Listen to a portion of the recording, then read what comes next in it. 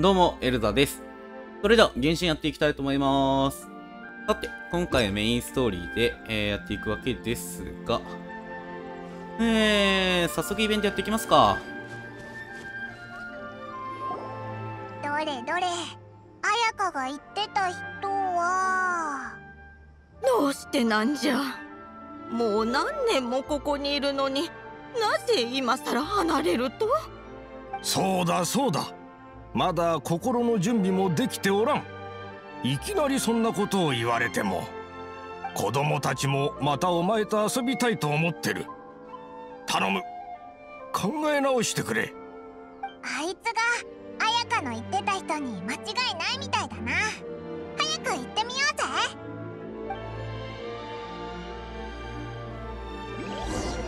はい、行きますか。なんか、厄介ごとに突っ込む感じになるけどね。あんたは手島さんを引き止めに来たのかい？えー、何があったの？手島さんはな30年前にここに来てからずっとこの地におられる方じゃ。強盗団を追い払ったり魔物を撃退したり村の争いを止めてくれたり。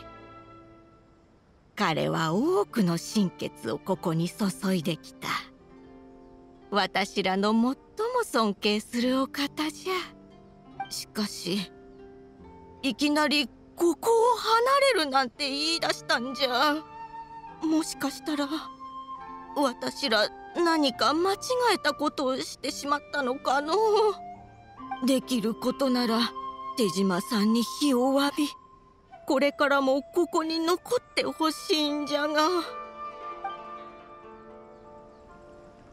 うん、どっちかっていうと、頼りにしすぎて、ダメになるんじゃないかとか、そういうことだろうかな。あ、あ、健次郎。何があったの？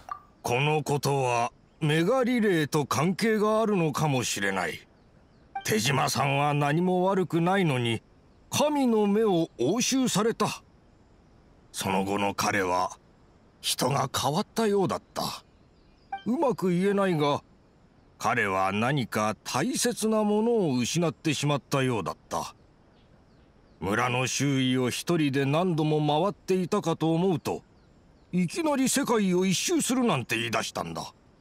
俺たちも別に彼をここにとどまらせようとしているわけじゃない。ただ魂が抜けたような彼をこのまま行かせることはできない。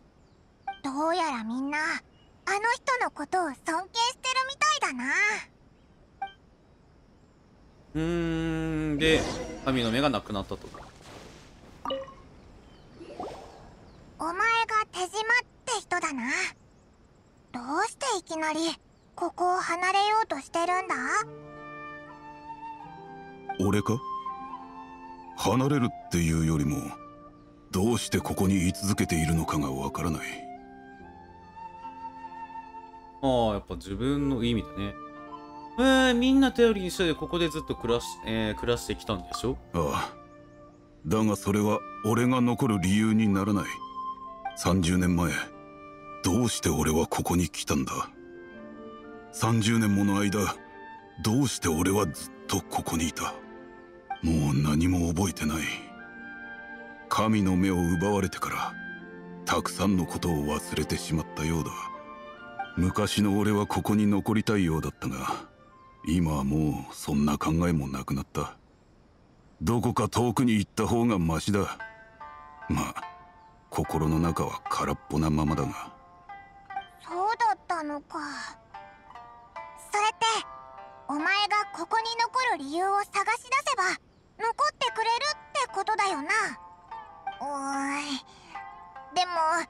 自分でも忘れてるみたいだしどうすればいいんだろう。頑張って思い出してみるってのはどうだ？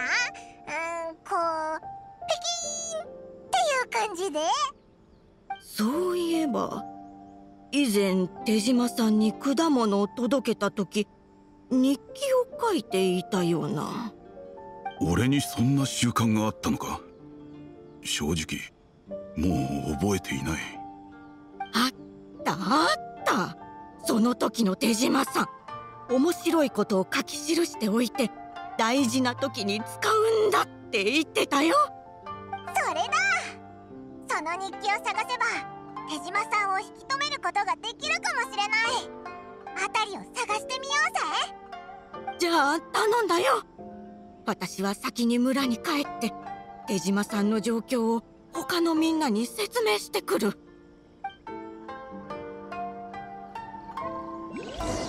うーん。記憶と神の目がなんか因果関係あるんだね。これが手島さんの日記みたいだな。うんどれどれ。今日は村のみんなと一緒に着物の網焼きを作った。俺は不器用でうっかり網を焦がしてしまった。仕方なく最初から黒魚のかば焼きを作っていたことにした。今日は村で溺れていた子供を助けた。その子は自分の友達のバンブがまだ水の中にいると言った。俺は半日かけて探し回りやっとわかった。そのバンブっていう友達はその子の飼っているカニだった。今日はタコをあげに行った。糸が突然切れた。どんなに追いかけても追いつけなかった。仕方なく休憩できる場所に座りそれが遠くへ行くのをただ眺めていた。うーん。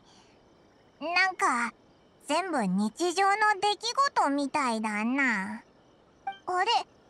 待てよ。これを見ろ。今日はまた近くの祠へお祈りに行きそこでずっと座っていた。お前が送ったお守りも色あせたがそれでも俺の一番大事なものだ。なんか有力な情報みたいだな。祠に行ってみよう。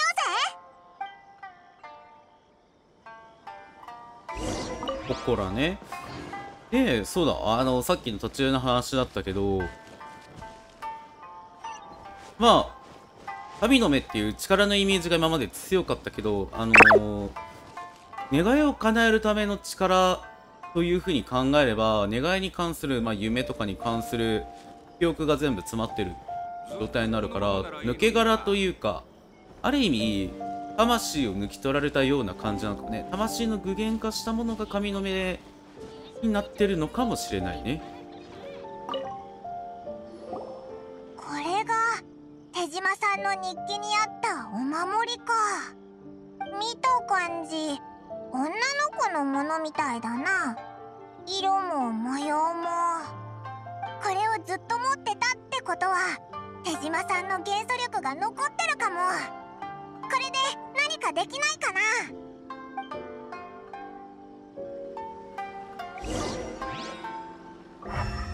そうえーとこっち。木の中の手がかりを探す。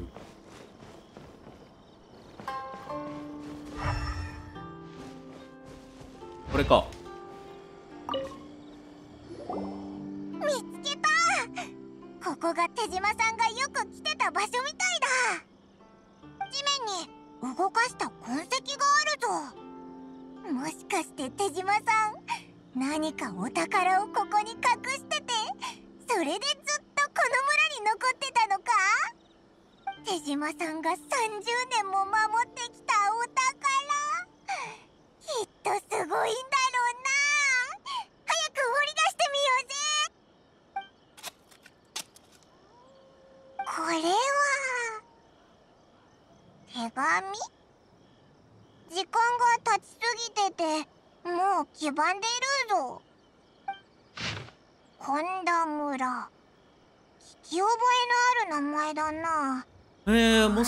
戦争でチリチリになったら本田村で待っててください。あそこにはきっと私たちを待ってくれる安らかな家があります。この村の名前。え？ってことは手島さんここでずっと人を待ってたのか？でももう30年も経ってるんだぞ。まだ現れてないなんて。とりあえずこれらを手島さんに渡そう。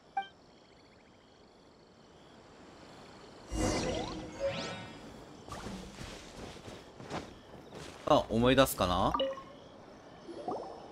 そうだ。この日記にあるのは確かに俺の筆跡だ。お守りと手紙も俺のものだと思う。それに書いてあることはもう忘れたが。しかし俺は確かにここで誰かを待っていた。30年も。その間毎日起きた面白い出来事を記録した。再会した時にこの30年もの月日を彼女に聞かせるためにいろんなことが起きたな。時間が過ぎるのは早い。もうこんなにも経っていた。どうしてこんな重要なことを忘れていたんだ。よく考えると神の目を奪われてから自分の中が空っぽになった気がする。愛も後悔も。彼女に関することも全て消えた。悲しいと思う？そうでもない。彼女が誰かさえも忘れているしな。彼女の姿声俺と経験した出来事全て忘れてしまった。初めから彼女がいなかったかのように。全てが儚い夢だったかのように。じゃあまだここを離れたい？それはもういい。こんなにも待ったんだ。これからも待ち続けよう。ただ本当に彼女に会えたとしても名前すら口にできなかったら彼女は悲しく思うだろうか。それを考えると俺の心は確かに悲しくなる。おかしいな。彼女のことはもう覚えてないのにどうしてこんな思いを抱くんだ。前もそうだった。心の中が空っぽで何か欠けているような。何はともあれ俺がここに残る理由を取り戻してくれてありがとう。ここに残って彼女を待ち続けるよ。手島さんはそんなに悲しくないって言ってたけどなんかおいらはすっごく悲しいぞ。悲しみの理由を失うのはもっと悲しい。綾香とトーマが言ったように神の目を失ったら願いと関係ある全てが同時に失われるのかもな。これが手島さんがあんなことになった原因だと思う。おいらたち手島さんの役に立てたかな。はい。次の人を探しに行こう。綾香からの情報だと2人目の神の目を奪われた人って天領奉行の武士だったよな。まあこれであれだね。神の目との関係性がよくわかるってことだね。じゃあ飛びましょう。あーでもそれで気になるのはさ7人の神だからウェンティとかあの辺りは抜かれたじゃん。あれは記憶と関係してるのか気になるよね。でも自分で渡して話はしてるから記憶関係ないのかな。力だけっていうところなのかもしれないね。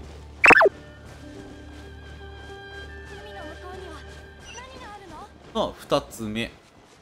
おかしいぞ。天領奉行って将軍の管轄下にあるんだろ？稲妻の治安維持を任されてる。メガリレーもあいつらが執行してるはずだ。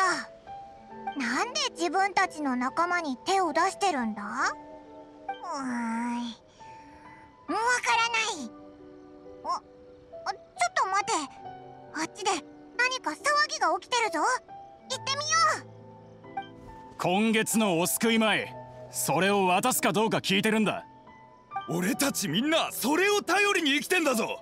納得のいく説明をしてもらうまで帰れると思うな。何度も言ったように俺はお救い米なんてものは知らない。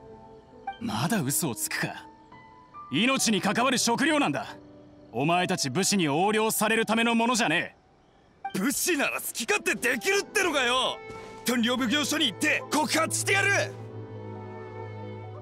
お救い米って？誰だ？黒沢の仲間か？いやいやオイラたちはただの通りすがりだ。なんだか騒がしかったから何があったのか見に来たんだ。そうか。ちょうどよかった。お前たちからも何か言ってやってくれ。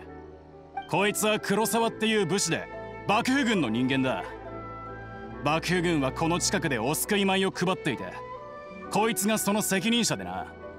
以前はこいつに会えばお救い米を分けてくれたのに急にくれなくなったんだ。きっと欲に負けて食料を横領するつもりなんだよ。その食料がなきゃ俺たち飢え死にしちまうっていうのに。俺たちの気持ちは考えてくれないのか。昔は心優しいお方だと思ってたのに。どうやら他の武士と同じで悪人だったみたいだな。道理で神の目も奪われるわけだ。雷電将軍もこんな奴に国を治める手助けをしてほしくないだろこいつが綾香の言ってたやつか。でもなんで綾香はこんなやつの手助けをオイラたちにさせようとしてるんだ？とりあえずこの黒沢って武士がどう思ってるのか聞いてみよう。まあこれも記憶との関係だろうね。いきなりっていう話だが人が変わってるって話だね。何がお救い米だ。そんなこと聞かされてない。あいつらがどこからそんな噂を聞いたか知らないがきっとそれを使って俺をたかりに来たんだ。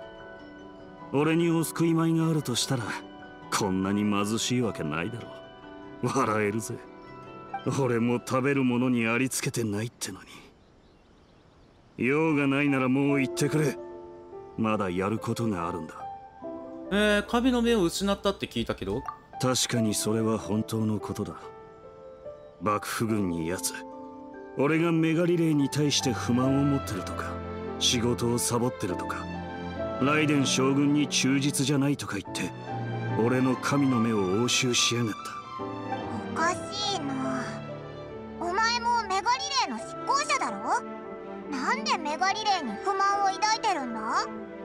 それは正直もう覚えてない。ただあの時は毎月何かをやっていたことだけは覚えてる。今はもうやる気すら起きないが忘れただけならまだしも心がなんかモヤモヤするんだ。誰かに借りがあるのにそれを思い出せないみたいな。お救い米と関係はあるのか？お救い米の横領なんてしてない言っただろお救い米があったらこんな苦しい生活誰がするって言うんだ。それに俺の家はさっき宝刀団に強盗に入られたばかりだ。で宝刀団を追っている途中あいつらに止められたんだ。信じないって言うなら宝刀団どもを懲らしめて俺の家にお救い米があったかどうか聞いてみるといいさうーん嘘を言っているようには見えなかったな。でも確証はない。やっぱり宝刀団のやつを捕まえて聞いてみよう。宝刀団が残した痕跡をたどれば見つけられるはずだ。まだ遠くに行ってないうちに早く追いかけようぜ。さあ宝刀団をしばき行きますか。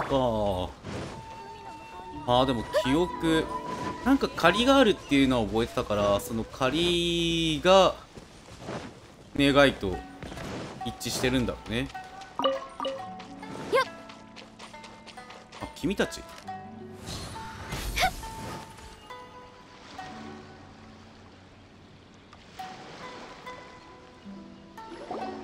兄貴今日はなかなかの収穫だったな俺たちが行った武士たちの家貧しかった一人を除けば他はみんな裕福でがっぽり稼げた。これくらいどうってことね。今日の成果は俺たちが億万長者になる一歩目に過ぎないんだからな。今日ここからお前たちを引き連れ盗人の世界で偉業をなし一躍有名になってやるぜ。兄貴万歳どうやらあいつらがオイラたちの探してる宝刀団みたいだな。懲らしめてやろうぜ。んじゃしばきましょう。相手を間違えたらそりゃ終わりそう。なんでこんな俺の金が頑張って盗んできた俺たちの成果が。兄貴なんとかしてくれ。そのいい身のこなしだな。宝刀団に入って俺たちと大事をなす気はないか？えー、黒沢の家に強盗に行ったらしいけど。黒沢？ああ覚えてるぜ。まさかあいつに言われてきたのか？くそ。なんてついてないんだ。あんな奴の家なんかに寄るんじゃなかったぜ。黒沢の家はどうだったんだよ？食料がたくさんあったんだろ？食料？んなもんねえよ。汚ねえ家ん中だったぜ。そういえば一つだけ変わった箱があったな。きっと宝が入ってんだろう他の奴らに見られたくなかったから戻ってから開けようと思ったんだがそんな時にお前らに捕まっちまったいっそこの箱で手を打つってのはどうだ？まだ少しは誠意が残ってるみたいだな。早く開けてみてくれ。あこれは？しゃ借用書？それにたくさんあるぞ。雑貨店の葵さんから借りたお金の借用書みたいだ。うわ結構な大金だぞ。一体どういうことなんだろう。雑貨店に行って聞いてみようぜ。おいお前たちはもう行っていいぞ。もうこんなことやるなよ。ありがとうございます。若頭。借用書で手を打てたってことは俺たち儲かったんじゃないか？早くずらかるぞ！まあ黒沢だけだからね助けたいのはね。それ以外はどうなろうが今のところは関係ないからね。解決はしてないと思う。ついていきます、えーと借用書があるってことはなんかあれかな？借金肩代わりしてたのかな？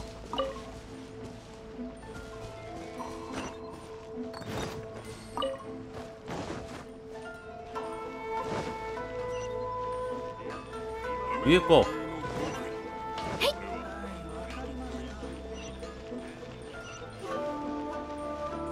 右上次の仕事は？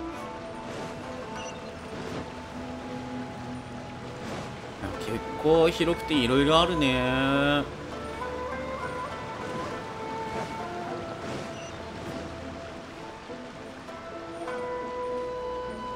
あああったあったあった。ここだね。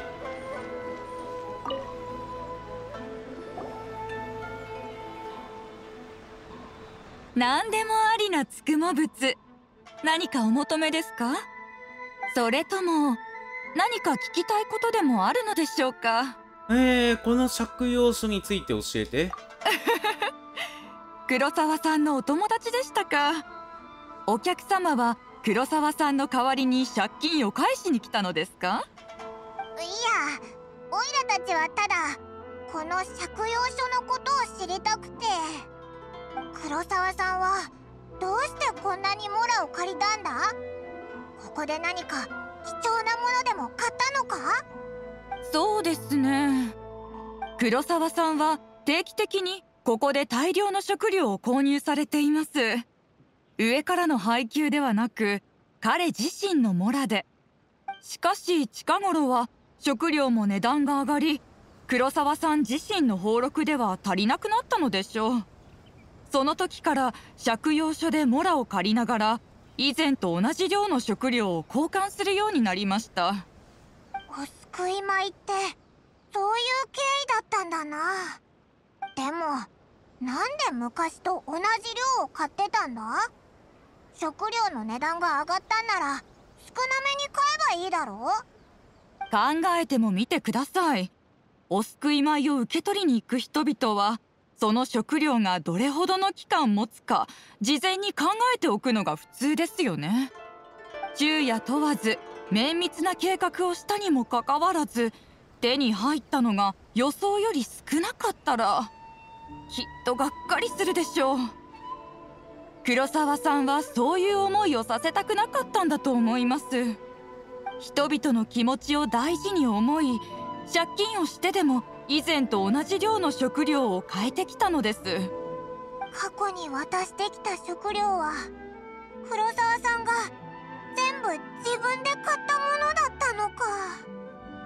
なのに周囲の人から感謝されるどころかずっと責められて。人の態度は自身の置かれている状況によって変わるものです。生きるということに関してほとんどの人は他のことに気を回す余裕がなくなります。私からすれば黒沢さんがお救い米の出どころを最初から話していればこのような面倒事も減っていたと思います。もちろん減るだけですが彼がしたことは花から骨折り損のくたびれ儲けです。彼がどうしてお金を払ってお救い米を買ったのかどうしてそれを公表して感謝されることをしなかったのか私にも分かりません。もし気になるのでしたら黒沢さんに直接聞いてみてはいかがでしょう？えー、それがね彼自身も覚えてないああそういえば彼は神の目を押収されたばかりでしたね。それは厄介ですね。もし借金を返せないのでしたら彼が大事にしていた刀を売るしかないかもしれません。刀？なんだそれ。黒沢さんから聞いていませんか？一年中身につけているほど彼には大事な刀があるんです。私も昔彼にその刀の来歴を聞いたのですがこれは父から譲り受けたものでどんな高値でも売らないとだけ言われました。当時は少し残念に思ったほどです。何せ私はこの世の万物は値段で測ることができ相応のモラを払えば何でも買えると思っていましたので黒沢さんに刀の事情を聞いてみてください。あなた方の探している答えはその刀にあるかもしれません。もちろんその前にこちらでのお会計を済ませてくださいね。でもオイラたち何も買ってないぞ。情報も売り物の一つ。そうでしょまあ確かに黒沢さんの情報は高くはつきませんね。特別秘密にしてくれとも言われていませんし。そうですね。2000モラでどうでしょう？金取るんか。わかった。少なくともお救い米の事情が分かったんだ。それと黒沢さんがずっと持ってる刀のことも。本人に聞いてみよう。何か思い出すかもしれない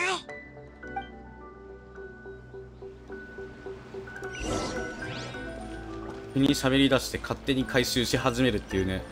なかなかなかなかやねあの人ね。だってこれで黒沢の事情が見えてきたわけだけどなぜそこまでして助けるのか。で刀との関係性はと。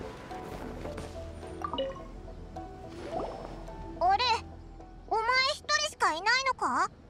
さっきの二人は？まだ続けるなら刀を抜くと言ったら二人とも言ったよ。やっぱりこいつは言葉で話すよりも便利だ。もしかすると俺もこれからはそういえば宝刀団のことはもう調べたのか？俺が嘘をついてないのが分かっただろ確かにえー、報道団と雑貨店のことを黒沢に話した。大体こんな感じだ。お前は確かにお救い米を配ってたけど自分のお金で買ったものだったんだ。どうして昔の俺はそんな奴だったのか。全く覚えがない。今お前たちに言われ振り返ってみても何も思い出せない。昔の俺はどうしてそんなことをやってたんだ。骨折り損じゃないか理解できない。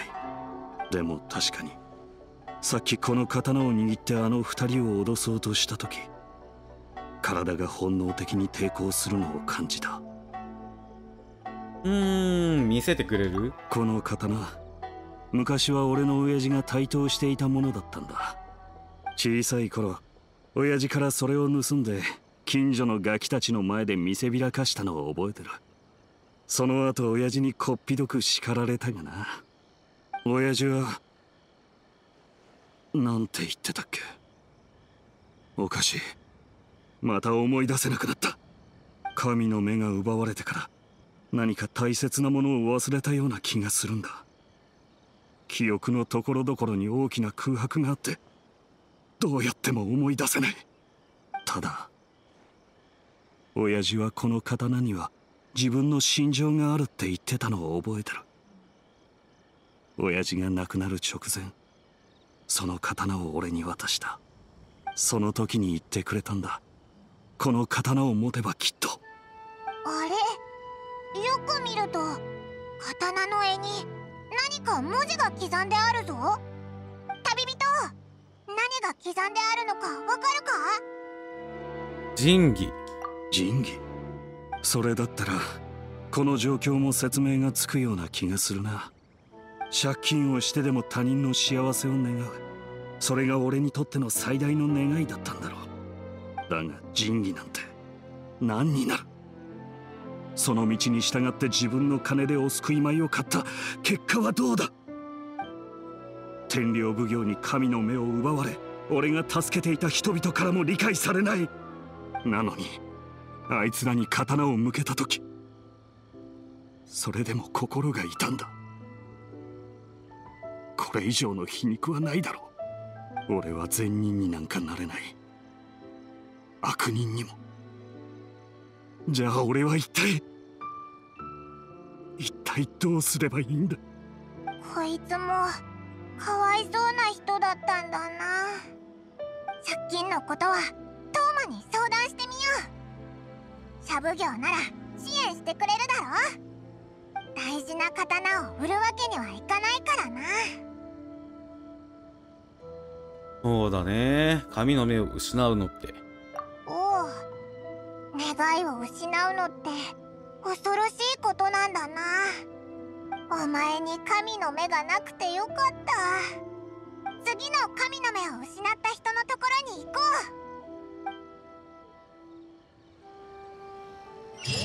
確かにね神の目を持ってたら。